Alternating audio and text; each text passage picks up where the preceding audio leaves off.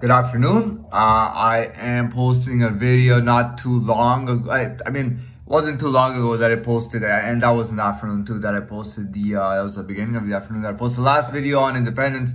Uh, I wanted to talk about more about unprotected um, versus protected world, uh, meaning uh, unprotected, more danger, more risk, and the protected world being more fixed, um, more predictable, more um, easier to last in, uh, more friendly, softer, um, comfortable, and nicer.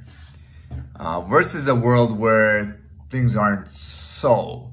Um, now, I, will tell you what I mean. Um, more money doesn't necessarily mean that you're in a more intense world or something like that. Uh, that's not the case at all. Um, the amount of money being less or more is not not the deal there. Um, it's kind of like um, kind of like swimming with sharks versus swimming with um, a school of tuna and um, guppies. Uh, you know what I mean? Um, their worlds are just different. And I talked last night about choice and about belonging, and I feel like my choice and my belonging, uh, now I realize, are almost one basically. Uh, my choices and my belonging is, is, is almost like one world. Um, you see, the, the thing is, how can everybody uh, pass or be in one world uh, when there's kind of like a cutthroat, dangerous uh, uh, area? You know what I mean? I, I mean to say like, dude, I robbed the bank. I'm not, uh, I'm not your sweetheart. You know, I don't uh, work in a bakery shop and bake goods and then come home and uh, hug my wife uh, and, and, and, and tell her that she's amazing. And then we watch movies together uh, while we have our phones out, checking our Facebooks and dropping comments. Uh, no, that's not me. Um, and that will never be me. And that's not that I'm trying to prove a point that I want to have a Harley and I want to be the cool old man or anything like that or the cool middle aged man. No, that's not the case at all. But uh, the way I'm bred, uh, the way I'm built, and and and what I am, uh, will not allow me to go into that. Um, you, you gotta you gotta know something that when it comes to the safe, protected, happy, friendly, nice world you got to remember that um, some people don't get tickets, right? Uh, some of us don't get to go into that world, and some of us don't get to live like that. Pretty much not allowed to. And when it comes to our world, absolutely everyone is invited, which is so strange. I mean, you think it, it, would be the other way around. We would be the ones that were more um, unique or, or, or difficult to get into, but, but that's not the case at all. Anyone is welcome and anyone can get a ticket to our world. But we can't get tickets to their world, which is which is pretty much most of the world. We can't get tickets into that world.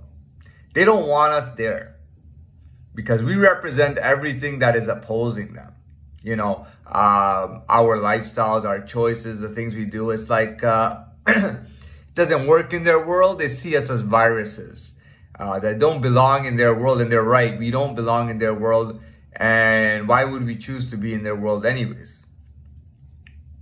Um, now, on the flip side, they are all invited to our world. I mean, when a shark is in the ocean, a shark never repels um, creatures or, or, or, fish or whatever. A shark doesn't go roar right? The, a shark doesn't roar in the water and tell all the fish to get away from it. It never does. It never tells the fish you gotta leave, you gotta get away. It, it will never do that. It's not in its nature.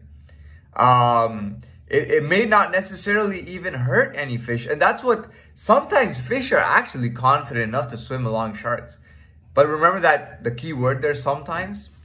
You see, if if if uh, most of the time they will get eaten, right? Because they make an easy meal. If, if you come around the shark, rather than it have to chase you into into your world under the uh, whatever like protective barriers you have and, and, the beaches that you're near to and the oceans you're near to where there are people and boats to, to protect you or, or, or to discourage killing you and eating you Um, rather than do that, it can just eat you when, it, when, when you come into its world. So we don't need to, um, I mean, we're not trying to deter anybody from coming into our world. We're not trying to stop them. We're giving free tickets for anybody who wants to join. Absolutely anybody who wants to join. But the thing is that uh, when you do come into that world, you're gonna have to accept the fact that there's a quite a bit of danger, um, risk. Uh, there's no love around there. Uh, sharks don't act like dolphins. They don't do tricks for human beings. Uh, swim with human beings, smile at human beings. Let you know what I mean. Interact with eh, sharks. Don't do that at all. Okay, sharks don't do that stuff. So you are allowed to come in, but is there a deterrent there? Um, you decide for yourself.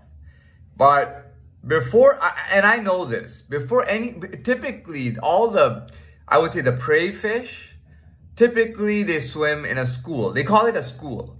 And when you have a school of fish, almost never, maybe almost never ever, uh, will the whole school decide that we're going to swim toward the shark. Doesn't work like that. Um, if it did, the shark would be very happy because it would be fed very well. So that's the deal. And I'm not going to talk, I'm not going to, I like these short videos more where I don't have to explain much. And I'm going to say good afternoon again.